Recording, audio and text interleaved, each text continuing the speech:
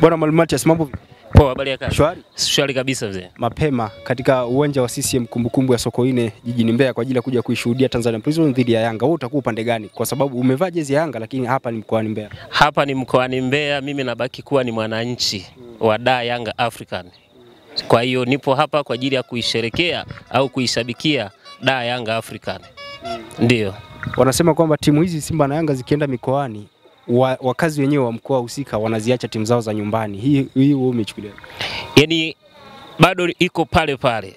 Bado narudia tena nitakuwa pale pale. Hata kama ningelikuwa nyumbani, lakini kama Yanga inafika kucheza na Tanzania Prison, mimi nabaki kuwa da Yanga African. Eh, labda kama kutakuwa na timu nyingine nje na Yanga. Mkoa mkoa wa Mbeya sasa hivi una timu moja tu ambayo ipo kwenye ligi kuu ambayo ni hii Tanzania Prison. Ihefu wa wako mbali kule. Huoni kwamba hapa mkiombea mabaya Tanzania Prison inaweza ikashuka na msione tena Yanga ikija? Uh, kiuhalisia hata kama Tanzania Prison itakuwa imeshuka, lakini kuna watu wengine watakuja, kama kwa mfano sasa hivi kuna hawa Ken Gold nao wanajiandaa kupanda daraja. Kwa hiyo hata kama Prison akiondoka, wapo wengine watakuja. Kwa hiyo swala kwamba ana- anategemea kama atashuka, alafu mimi niweze kubadili msimamo wangu, mimi bado ni daa Yanga African tu. Nani huyo ambaye amekuleta mapema leo hii hapa uwanjani? Kiusema ukweli, kwa kawaida wamenileta wachezaji wote wa Yanga, lakini sio mbaya nikisema nikimtaja mmoja mmoja. Kuna mtu kama anaitwa Pekome Zuzua Pakomwe, he, lakini pia kuna mtu anaitwa Aziziki japo kama leo atakuwa katika maeneo yake ya kujidai, naona ngoma hii itaisha mapema kabisa, kwa sababu yeye alikuwa kwenye Afcon huko ndo ameweza kurejea. Kwa hiyo kama mwalimu ataweza kumtumia vyema hata dakika za mwisho mwisho, kwa vile ajawa aja, hajawa vizuri zaidi kutokana na matatizo ya kidogo alikuwa na kifamilia, lakini nafikiri akiwepo ataisaidia timu yetu. Kwamba leo Azizi akianza mapema ngoma inaisha. yani kama Azizi akianza, alafu tukimjumrisha bwana Mr. Zozoa kule au wenyewe wanamwita Peko ni Zozoa, Pakome Zozoa, ah, hii imeisha mzee. Nasikia mnasema kwamba pakome aliachwa timu ya taifa, lakini kule watu wanasema hawamjui bwana. Kule wanas, huku wanasema kweli aliacha kwenye timu ya taifa. Na kule wanasema kwamba hawamjui, lakini ukija kufuatilia uhalisia, huyo Pakome huyo ameshiriki timu ya vijana wa under 20 pale Ivory Coast kipindi hicho. Sasa kama leo wanasema wamjui tumuulize yule waziri kipindi hicho alimchukua kama nani? Sasa waziri yeye si yupo kipindi hicho. Sasa si kuna watu wanakuja wanaondoka, inawezekana huyu aliyokuwepo wakati Pakome anacheza timu ya vijana pale under 20 yeye akuwepo, umenielewa? Eh, hilo linawezekana mzee. Eh, Kwa namna ambavyo unaitazama Yanga yako, mechi tatu zilizopita mmepata alama saba, lakini wanasema kwamba wananchi hakuna tena lile biriani, sijui mambo ya mkono tena hayapo, mnasubiri mpaka dega za jioni kabisa. nikurudishe nyuma kidogo, kuna watu walikula mkono kama wanakumbuka. Tuli achana na KMC, mbona unakimbilia huko? Achana na JKT kwanza, mbona unaogopa kumtaje? Ah, ah. Si wale wenzetu wale makolo aka Simba Simba Sport Club wale walikula tano, wakati wanakula tano Yanga alitoka kumfunga mtu goli hili moja tu alafu ndo tukarudi uwanjani akala tano. Kwa hiyo hata hivi na wasiwasi, juzi tumetoka kumpiga mtu goli mbili japo kwa jioni. Huyu naye inabidi ajitazame huyu kwa sababu wananchi bado tuna hasira. Kwanza tumetoka kwenye sherehe, tumekula, tumeshiba, kinachofuata ni kufanya kazi tu. Wajelajela bwana wanakwambia wao wako fiti kalikiti, wameshiba ugali wa jela, wanakuja kutibua sherehe yenu. Kwa kusema ukweli, wajelajela kutibua sherehe sherehe yetu sisi leo hawawezi. Labda wangekuwa wale makolo wanapataga shida hapa kwa tabu, lakini sisi wananchi tumepazoea na tutaonyesha kazi.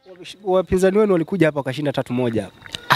Ndio maana nimekuambia wao walishinda tatu moja kwa kipindi hicho, lakini ukiwaleta sasa hivi wanaweza wakala hata kumi wale, kwa sababu wamechoka. Wana wazee wengi Simba hao, wana wazee wengi. Sasa kwamba sasa wewe uone kuna wazee wengi sana pale, lakini hebu turudi turudi kwanza, achana na wasajili wakina Jope.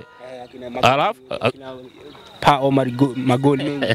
kwanza nicheke kidogo, magoli mengi yale, wewe subiri, si amecheza na zile timu za tiatia maji. Wewe umeona juzi hapo goma la Azam lile limesimama pale, kama kama ah, mashujaa wapi? Mashujaa si tulimuua yule, aka, akajua kwamba biashara bado ipo. Bia, Yanga ili uweze kujua goma hili limeisha, akisha refari kapuliza kipenga, yani hata akiongeza dakika moja, amini hiyo ngoma bado ipo, si tunaweka hiyo hiyo, na tukiweka pointi tatu mambo yanaenda. Sasa wajelajela wanakuambia wametunza energy ya kutosha, wanasubiria nyinyi ambao mmechoka choka na safari.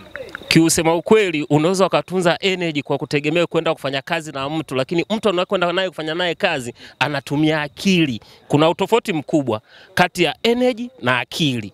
Wachezaji wa Yanga wanatumia akili, wana skills nyingi sana, ndio maana wakati mwingine wanaweza akakwambia ngoja tupige tatu gomea. Unaijua tatu gomea hiyo? Yaani eh, ndio nikueleze sasa, wanaamua ngoja tupige tatu gomea. Hiyo tatu gomea ni kwamba wanapigwa pasi ya kwanza, ya pili, ya tatu, alafu wanakurudisha kwa golikipa wao ili wewe uweze kwenda. Sasa ukienda sasa, alafu golikipa wetu yule Abutwali Kimsheli akifanya hivi Abutwali Msheli huyo akifanya hivi taf, e, yani akifanya hivi anakudanganya, anaambia wachezaji jaini ndani, kumbe ki- anawaambia anawaambieni tanueni. Basi ile goma linapigwa pembeni. Sasa likipigwa gombe pembeni huko ndio inakuja tatugomea inatoka huku pembeni ikirudi ndani ikirudi nje kule upande wa pili hapa ndo mtu ana press tu anamaliza na kwa imeisha hiyo. Wanasema bwana yule Gwede yule striker amesajili, mmemtoa wapi yule?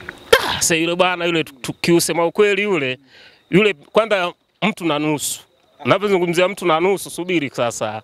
Ninavyozungumzia mtu na nusu katika mechi zake mbili ambazo ame, ameweza kuzianza kama fulu, kuna vitu anavyo japo hajafunga.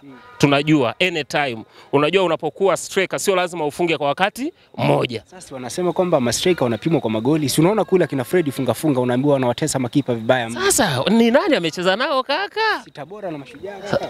Sasa hivi uliangalia mechi ya Mashujaa?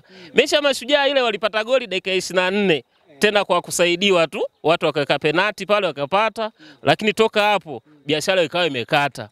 Na Tabora sasa. Tabora ile ku, u, u, wa, kama u- wale walikula nne kweli, lakini kiuhalisia walishawa. Yule kocha hata Tabora alisema bwana, e, ili eneo letu linasumbua, hebu fyekeni fyekeni majani. Walikuta si Simba amezoea kukaa kwenye majani marefu, basi akawa amefanikiwa kwa hilo.